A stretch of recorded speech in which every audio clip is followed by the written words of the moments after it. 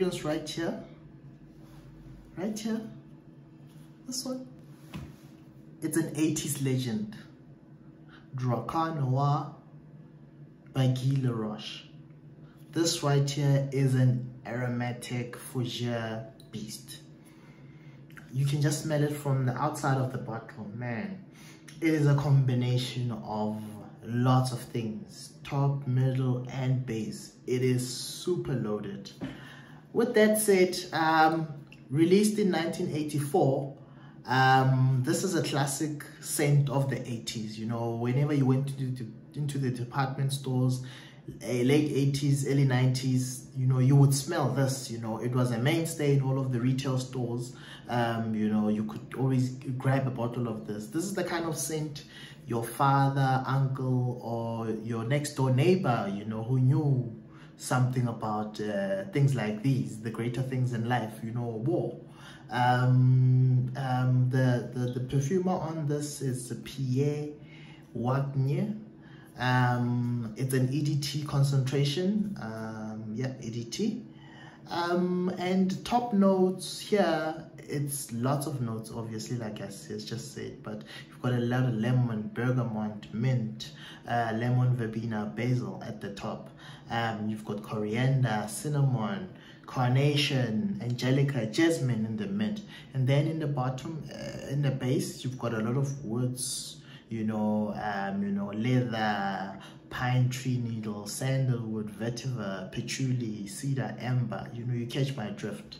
Yeah, and you know, this is it. You know, um, as soon as I recently got this, you know, as I sprayed it, it just reminded me where I've been smelling this, you know. So whenever I go to my local barber to get myself shaved and, you know, cleaned up, um, they usually finish me off with some sort of um, aftershave of Drakkar Noir or Drakkar Noir inspired.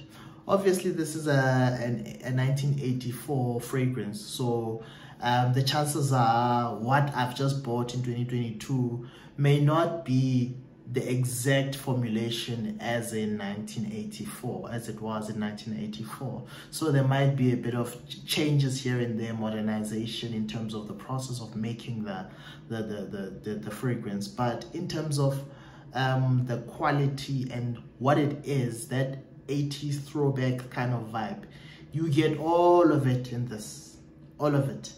Um, wearability um i would you know it's it's it's for the mature guy not for you know 20s teens even 30s you know. This is an 80s throwback like i said 1984 um longevity on my skin six to eight hours so it's it's decent you know. It's a decent it's very strong you know. Um i find it very strong at least on my skin. So six to eight hours i can still pick it up and then you know it dies down after that so it, it is what it is it's an edt concentration but in terms of the load how loaded it is you know it, it's it's very loaded this stuff is very loaded top middle and base you know notes galore um, one of the best uh, aromatic fougères ever released, Noir.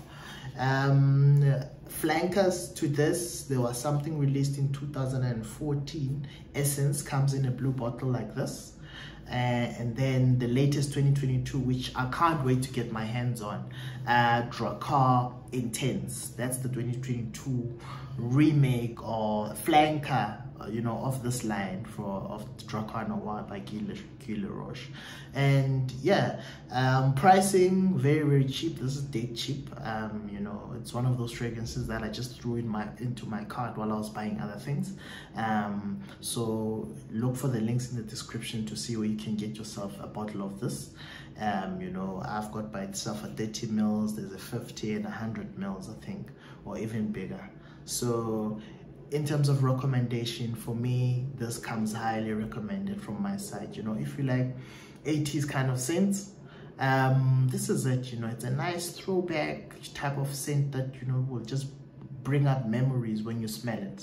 So highly recommended from my end uh Drakkar Noir by Guy Laroche um you know go out and get it and yeah that's it for this review um till the next episode of the My Fragrance Journey channel SA, um, please subscribe and like the video. Till next time, peace.